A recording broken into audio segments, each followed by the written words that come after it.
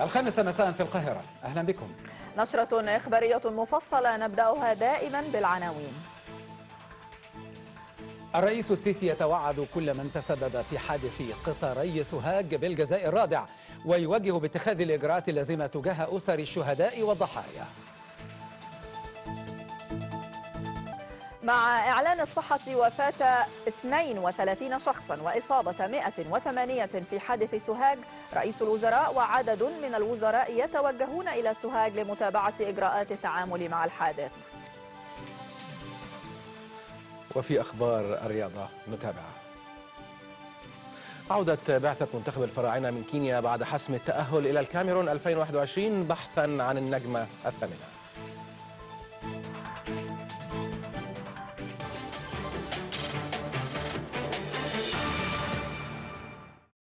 تحية مجددة مشاهدينا الكرام تفاصيل النشرة. يتابع الرئيس عبد الفتاح السيسي الحادث الأليم الذي وقع اليوم بين قطارين بمحافظة سوهاج.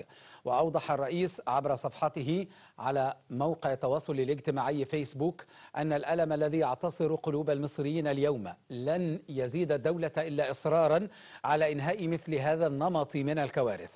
ووجه الرئيس السيسي رئاسة الوزراء والأجهزة المعنية كافة بالوجود في موقع الحادث والمتابعة المستمرة وموافاته بالتطورات كافة والتقارير المتعلقة بالموقف على مدار اللحظة. وشدد الرئيس على أن ينال كل من تسبب في هذا الحادث الأليم الجزاء الرادع. وتوجه الرئيس السيسي بكامل العزاء لأسر الشهداء الذين لقوا ربهم اليوم. وقدم سيادته كامل المواساة والدعم والأمنيات بالشفاء العاجل. بأمر الله لأسر المصابين. كما وجه الرئيس الأجهزة المعنية كافة باتخاذ الإجراءات اللازمة وتوفير التعويض اللائق لأسر الشهداء والضحايا. من جانبها أعلنت وزارة الصحة والسكان وفاة 32 شخصا وإصابة 108 آخرين في حادث تصادم قطارين بمركز طهطا في محافظة سوهاج. وأوضح خالد مجاهد المتحدث الرسمي باسم وزارة الصحة والسكان أنه تمت زيادة سيارات الإسعاف إلى 74 سيارة مشيرا إلى أنه تم نقل حالات الوفاة والمصابين إلى مستشفيات طهطا وسوهاج التعليمي والمراغة وسوهاج العام. وأضاف مجاهد أن جميع المصابين يتلقون العلاج والرعاية الطبية اللازمة بالمستشفيات حيث تم رفع درجة الاستعداد للدرجة القصوى بجميع المستشفيات بمحافظات سوهاج وأسيوط والأقصر وقنا. وأشار المتحدث الرسمي باسم وزارة الصحة إلى توافر مخزون الأدوية والمستلزمات الطبية بجميع المستشفيات بمحافظة سوهاج. كما تم الدفع بأكياس دم كدعم طبي من المركز القومي لنقل الدم بمحافظة القاهرة إلى بنك الدم الإقليمي بمحافظة سوهاج. وتابع مجاهد أنه يتم الدفع بتعزيزات طبية من محافظة القاهرة إلى سوهاج أقلعت طائرة تحمل فرقا طبية بمختلف التخصصات الطبية لمستشفيات محافظة سوهاج وفقا لتوجيهات الدكتورة هالة زايد وزيرة الصحة والسكان. يذكر أن وزيرة الصحة والسكان توجهت لمحافظة سوهاج قبل قليل لمتابعة الحالة الصحية للمصابين في الحادث. في الوقت ذاته نفت وزارة الصحة صحة المعلومات المتداولة في عدد من وسائل الإعلام ومواقع التواصل الاجتماعي بمناشدة وزيرة الصحة والسكان المواطنين لأن يتبرعوا بالدم لمصابي حادث قطاري سوهاج. وأكد توافر 1034 كيس دم من مختلف الفصائل و3467 كيس بلازما ببنك الدم الإقليمي بمحافظة سوهاج. هذا إضافة إلى ثلاثين ألف كيس دم كمخزون استراتيجي تم الدفع بهم كدعم طبي من المركز القومي لنقل الدم بالقاهرة. ونشدت وزارة عفوا كان ثلاثة ألاف كيس دم. ونفت وزارة الصحة وسائل الإعلام ومرتدي مواقع التواصل الاجتماعي عدم تداول معلومات دون تحري الدقة. كذلك الحصول عليها من مصادرها الرسمية. أصدرت هيئة السكك الحديدية بيانا أوضحت فيه أنه أثناء سير قطار رقم 157 مميز الأقصر الإسكندرية ما بين محطتي المراغة وطهطة تم فتح بلف الخطر لبعض العربات بمعرفة مجهولين وعليه توقف القطار. وفي هذه الأثناء تجاوز قطار رقم 2011 مكيف أسوان القاهرة سيمافور 709 واصطدم بمؤخرة آخر عربة بقطار رقم 157 ما أدى إلى انقلاب عربتين من مؤخرة قطار رقم 157 المتوقف على السكة وانقلاب جرار قطار 2011 وعربة القوى. مما أدى إلى وقوع عدد من الإصابات والوفيات. كما أكدت الهيئة أنه تم تشكيل لجنة فنية للوقوف على أسباب الحادث وجار المتابعة لسرعة رفع الحادث وتسيير حركة القطارات على الخط.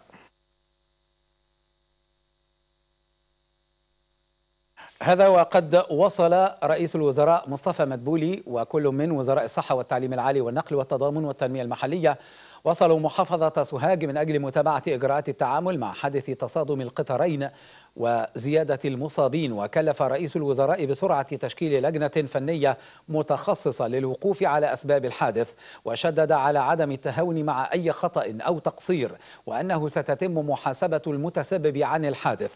كما وجه جميع الوزارات والجهات المعنية بتسخير كل إمكاناتها للتعامل مع هذا الحادث الأليم. وعبر رئيس الوزراء عن بالغ الأسى والحزن لوقوع عدد من الضحايا جراء الحادث وتوجه بخالص العزاء لأسرهم كما تمنى الشفاء للمصابين. للمزيد من المتابعة مشاهدي الكرام ينضم إلي من سوهاج رفعت محمد. رفعت مراسل أخبار مصر من سوهاج. أهلا بيك رفعت وكل التحية. يعني تتطور ال ال ال الأوضاع كل لحظة يعني وحدثناك منذ فترة الآن وصل عدد المصابين بشكل رسمي إلى 108 فيما ظلت الوفاة عند 32 وفاة يعني ما هي آخر الأخبار والمستجدات لديك؟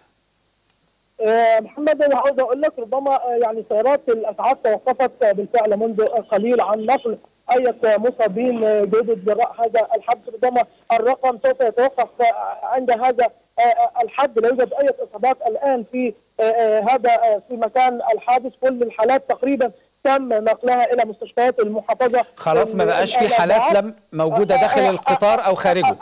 الآن لا توجد أي حالات يعني أنا موجود هناك في مقر المكان. ما فيش أي حالات أو أي مواطنين ربما ما زالوا يعني متأثرين باصاباتهم أو أو ما زالوا في العرضات التي تأثرت بالحادث المروع.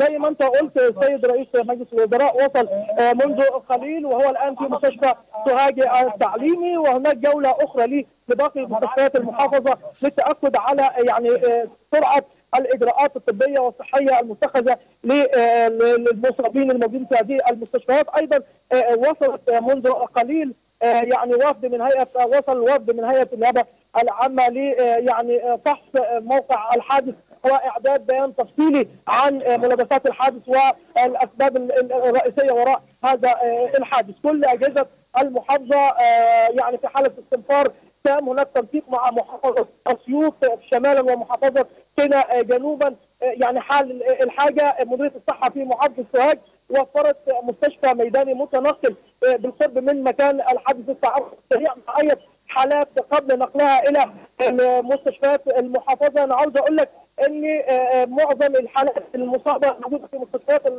المحافظة حالتها يعني معظمها حالتها في المنطقة المتوسطة. هناك عدد قليل حالته حرجه بيلقى احتواء ورعايه صحية. معظم التقارير الطبية بتقول إن حالات المصابين ما بين كسور وسحجات وكدمات متفرقة في يعني في أنحاء الجسم. ربما بعد ساعات قليلة عدد كبير منهم يخرج من هذه المستشفى هذا هذا طبيعي ومفهوم. يعني كان دكتور خالد مجاهد قد صرح إنه الحالات من متوسطة. ما بين متوسطة إلى شديدة الخطورة. والحالات يمكن يعني الأرقام الرسمية النهائية لم تتضح بعد بشكل يعني ختامي. لكن دعني أسألك أنت قلت إنه هناك حالة استنفار في المحافظة والأجهزة التنفيذية كذلك جهات التحقيق. أعتقد إنه الأدلة الجنائية والفريق الذي تم تكليفه من النيابة العامة بدأوا بالفعل في إجراءات عملهم. هل هل هل تؤكد ذلك؟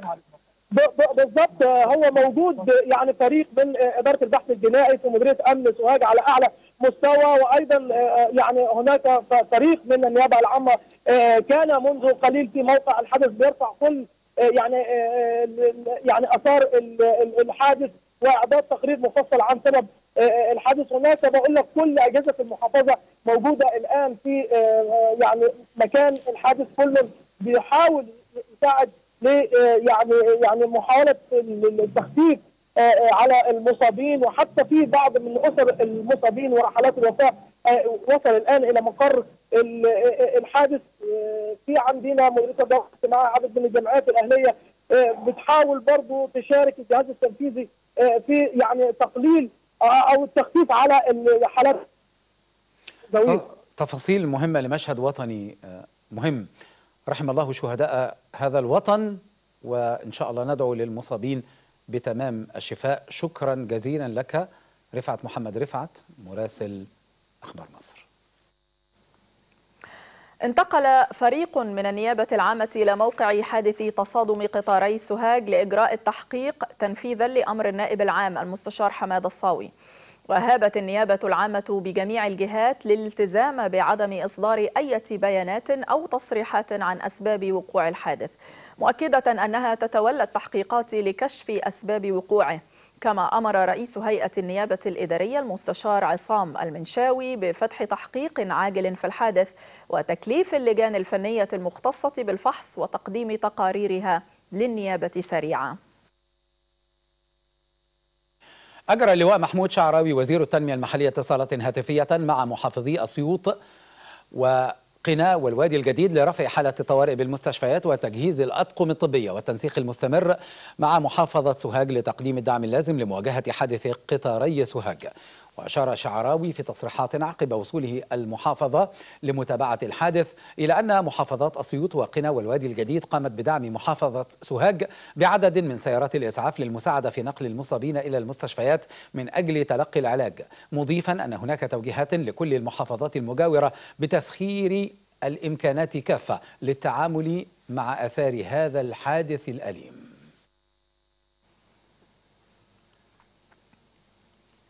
هذا ونعى فضيلة الإمام الأكبر أحمد الطيب شيخ الأزهر الشريف بكل حزن وأسى ضحايا حادث قطاري سوهاج داعيا المولى عز وجل أن يربط على قلوب أهالي الضحايا وذويهم وأن يرزقهم الصبر والسكينة وأن يمن على المصابين بالشفاء العاجل. كما نعى مفتي الجمهورية الدكتور شوقي علام ضحايا حادث تصادم قطاري سوهاج وتوجه مفتي الجمهورية بخالص العزاء وصادق المواساة لأسر ضحايا الحادث الأليم. هذا وبعث ملك البحرين حمد بن عيسى الخليفة برقية تعزية ومواساة للرئيس السيسي في ضحايا حادث قطاري سوهاج. وأعرب العاهل البحريني في رسالته عن خالص تعازيه وصادق مواساته للرئيس السيسي وشعب مصر وأسر الضحايا داعيا المولى عز وجل أن يتغمد الضحايا بواسع رحمته ومغفرته وأن يمن على المصابين بسرعة شفاء العاجل وأن يحفظ مصر وشعبها من كل سوء ومكروه. كذلك بعث أمير الكويت الشيخ نواف الأحمد الجابر الصباح برقية تعزية إلى الرئيس عبد الفتاح السيسي عبر فيه عن فيها عن خالص تعازيه وصادق مواساته في ضحايا الحادث. بسوهاج سائلا المولى عز وجل أن يتغمد الضحايا بواسع رحمته ومغفرته وأن يسكنهم فسيح جناته وأن يلهم ذويهم الصبر والسلوان وأن يمن على المصابين بسرعة الشفاء والعافية. كما أعرب السيد عادل بن عبد الرحمن العسومي رئيس البرلمان العربي عن خالص التعازي والمواساة لمصر قيادة وحكومة وشعبا في ضحايا حادث تصادم القطارين كما أعرب عن صادق مشاعر التعزية والمواساة لأسر الضحايا وقد أكدت الخارجية الأردنية تضامن المملكة مع حكومة وشعب مصر في هذا المصاب الأليم. وأعربت عن خالص تعازيها لذوي الضحايا وتمنياتها بالشفاء العاجل للمصابين. كذلك قدمت الخارجية العراقية تعازيها لمصر حكومة وشعبا في ضحايا حادث اصطدام القطارين. كما نعى رئيس وفد مفوضية الاتحاد الأوروبي بالقاهرة كريستيان برجر ضحايا حادث تصادم قطري سوهاج. وقال سفير الاتحاد الأوروبي في تدوينة له إن جميع أعضاء وفد الاتحاد الأوروبي في القاهرة يتقدمون بخالص التعازي لأسر ضحايا الحادث.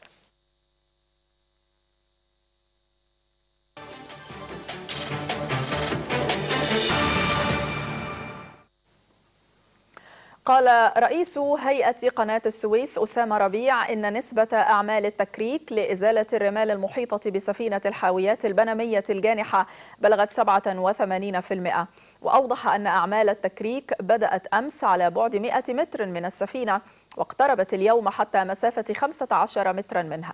وأكد ربيع أن أعمال التكريك تتم بمراعاة أقصى معايير الأمان الملاحي وذلك مع مراعاة الحفاظ على مسافة آمنة من السفينة. وأشار رئيس هيئة قناة السويس إلى أنه عند الوصول لمسافة معينة منها لن تستكمل أعمال التكريك وسيتم الاستعاضة عنها بالانهيارات الترابية التي ستتم من تلقاء نفسها. هذا ومن المقرر استئناف تجارب شد سفينة الحاويات البنمية بواسطة قاطرتين فور انتهاء أعمال التكريك المستهدفة. يأتي هذا فيما ثمنت هيئة قناة السويس عرض الولايات المتحدة المساهمة في جهود تعويم سفينة الحاويات البنميه الجانحة بالقناة. وأعربت الهيئة عن تطلعها للتعاون مع واشنطن في هذا الصدد معتبرة أن هذه المبادرة الطبية تؤكد علاقات الصداقة والتعاون بين مصر والولايات المتحدة. كما أعربت الهيئة هيئة القناة عن امتنانها لجميع العروض التي تلقتها من أجل المساعدة في هذا الشأن.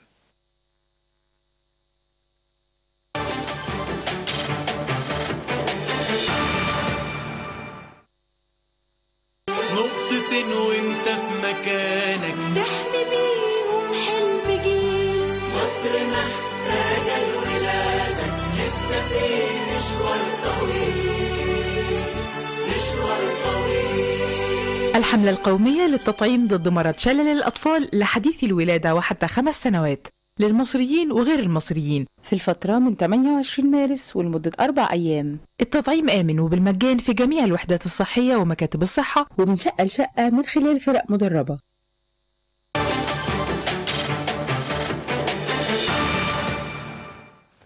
تأثير فيروس كورونا على الأطفال المصابين بأمراض الضغط والسكر والغدد الصماء وكيفية التشخيص المبكر لأمراض الكلى والضغط ونقص الأنيميا عند الأطفال هو ما كشف عنه الأطباء المختصون خلال فعاليات المؤتمر العلمي الآيبك للغدد الصماء وطب الأطفال في الممارسة العملية. نتابع.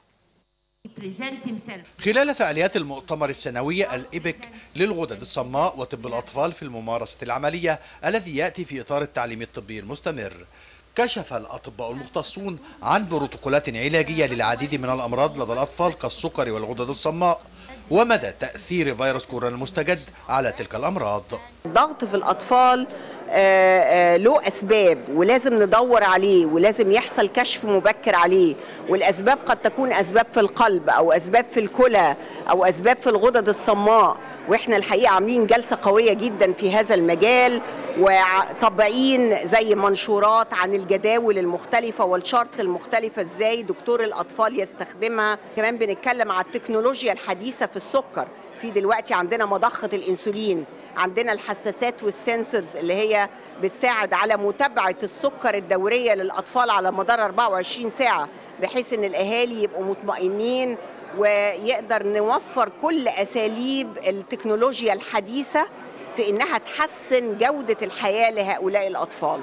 لكل يوم في حاجات كتيرة. يعني مش عاوزة أدخل في حاجة معينة بس مثلا في إعطاء الأنسولين في حاجات كتير وفي مولكيولز أو حاجات طالعة جديد في في في الكلى نفس الكلام في الضغط في توصيات مثلا المحاضرة بتاعتنا النهاردة هتكلم على الضغط في الأطفال وإزاي إنه هي دي حاجة إحنا يمكن لما أقول إن طفل عنده ضغط كتير مش هيبقى فاهم يعني إيه إزاي طفل يبقى عنده أساسا ضغط. وبالتالي في حاجات الحقيقة إحنا بنشوفها وبنحاول إن إحنا نعمل awareness وتوعية بيها كما تم خلال المؤتمر الكشف عن برامج وبروتوكولات التغذية العلاجية وتأثيرها الإيجابي في نمو الأطفال وبخاصة الأطفال وحديث الولادة. من أهم عناصر ال- التغذية هو آه، يعني إزاي نحافظ على ال- ال hydration أو إن المية تكون آه، آه، في الجهاز التنفسي العلوي الجهاز التنفسي العلوي مروي ورطب علشان يمنع ارتكاز ال- الفيروس. مهم ناخد نظام غذائي متوازن فيه كل العناصر الغذائية والمجموعات الغذائية. طبعا الفيتامينات والأملاح والمعادن حدث ولا حرج عن فيتامين سي والزنك وفيتامين د. أنا بناقش يعني مشكلة فيتامين د وهو المايسترو بتاع الجسم. فيتامين د مهم جدا إن إحنا نحلله الأول وبعدين ناخد آه، آه، فيتامين دي يعني إمداد منه علشان نقوي المناعة خصوصا في هذه الفترة. أنصح الأم الأول من وهي حامل تاخد بالها من نفسها ومن تغذيتها عشان ده كله بيروح للطفل. فأنت أهم حاجة تاكلي كويس تاخدي فيتاميناتك اللي الدكتور قايل لك عليها آه، تنامي كويس علشان صحة طفلك تبقى كويسة. في حبل سري بينك وبينه موصل الغذاء اللي نازل لك ليه. فأنت طول ما أنت صحتك كويسة وأنت حامل الطفل هينزل كويس.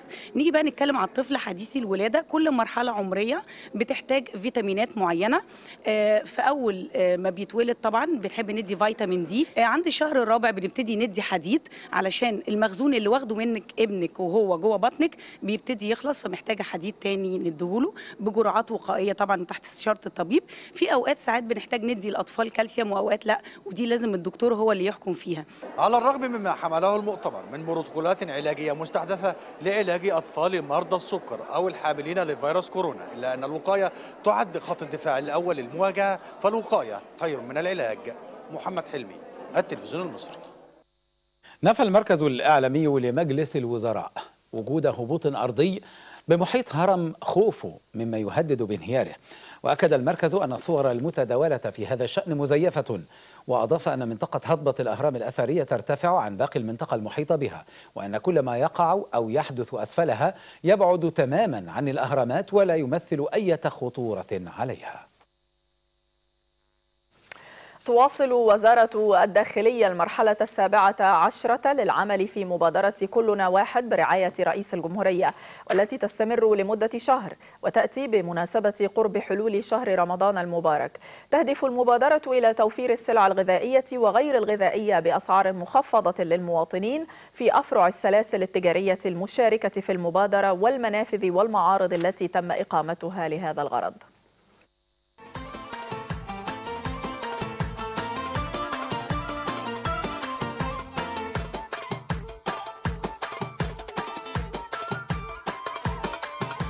على بعد أمتار قليلة من قاعة المؤتمرات وداخل إحدى الساحات باستاد القاهرة. معرض كبير أقامته وزارة الداخلية بالتنسيق مع مسؤولي عدد من الشركات لتوفير السلع الغذائية وغير الغذائية بأسعار مخفضة في إطار مواصلة فعاليات مبادرة كلنا واحد التي أطلقتها وزارة الداخلية برعاية رئيس الجمهورية. وتستمر على مدار شهر تزامنا مع قرب حلول شهر رمضان المبارك. نشارك في المعارض الموجودة في استاد القاهرة على مساحة 2000 متر بجوار قاعة المؤتمرات الدولية ومعرض ميدان رمسيس ومعرض ميدان التبة بمدينة نصر ومعرض امبابة شارع ترعة السواحل.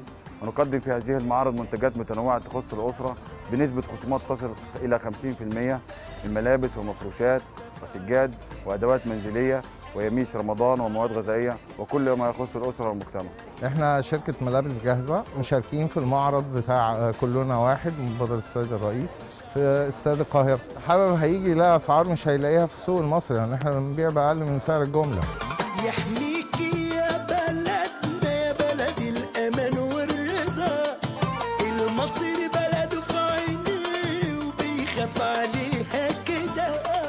جزء مخصص هنا للخضروات والفاكهة. بجواره مكان مخصص لعرض مستلزمات رمضان. إضافة إلى سلع غذائية استراتيجية معروضة في جانب آخر من المعرض الذي يضم أيضا المفروشات وما يحتاجه البيت المصري. كل تلك المعروضات بتخفيضات تصل نسبتها إلى 60% إحنا عاملين خصم حوالي 60% يصل إلى 60% على السجاد والمفروشات. وإحنا تاني مرة نشترك في المبادرة دي. المبادرة الأولانية نجحنا نجاح كبير جدا والناس آه، استقبلت المبادرة كويس جدا يعني. إحنا لأول مرة بنشارك في مبادرة السيد الرئيس آه كلنا واحد. بنشارك عشان آه نرفع عن آه الكاهل المواطن البسيط. ان إحنا بنقدم له أجود أنواع التمور بدون أي تكلفة أو بدون أي تحميل هامش ربح على المنتج.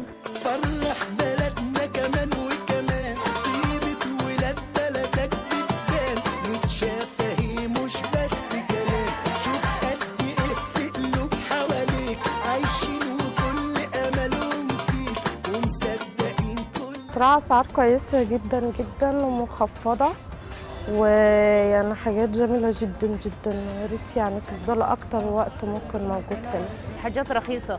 يعني أنا أقدر الوقت أشتري. في الأول ما كنتش عارفة أشتريها. اتفرجت على الحاجة كلها والله اسعار حلوة مرتاحة يعني. شكرا للرئيس السيسي بيقدم لنا المبادرة الحلوة دي. ويشارك في المبادرة 750 فرعا لكبرى السلاسل التجارية على مستوى الجمهورية يتوفر فيها سلع غذائية ومعمرة ذات جودة عالية. وللتيسير على المواطنين في الوصول إليها تم الإعلان عن أسمائها وأماكنها على الموقع الرسمي لوزارة الداخلية. كما أقيمت عدد من المنافذ والسرادقات في الشوارع والميادين بالمحافظات لإتاحة السلع للمواطنين بأسعار مخفضة. بهدف تخفيف الأعباء عنهم ودعم الأسر المصرية لتلبية متطلباتهم بخاصة مع قرب حلول شهر رمضان المبارك. يعكس التنوع الكبير في المعروضات من سلع غذائية وغير غذائية في مبادرة كلنا واحد والإقبال من المواطنين على الشراء. مدى التخفيضات الحقيقية التي توفرها وزارة الداخلية وتحرص عليها من خلال هذه المبادرة من أجل تخفيف الأعباء عن كاهل المواطنين. عبد الله بركات التلفزيون المصري.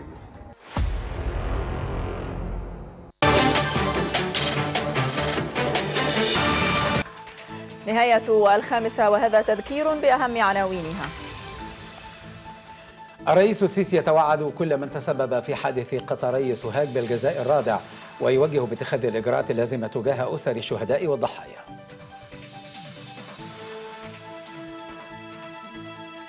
مع إعلان الصحة وفاة 32 شخصا وإصابة 108 في حادث سوهاج. رئيس الوزراء وعدد من الوزراء يصلون سوهاج لمتابعة إجراءات التعامل مع الحادث. ماسبيرو dot EG دائما للمزيد. رحم الله شهداء هذا الوطن ومتعكم بموفور الصحة والأمان. شكرا لكم إلى اللقاء.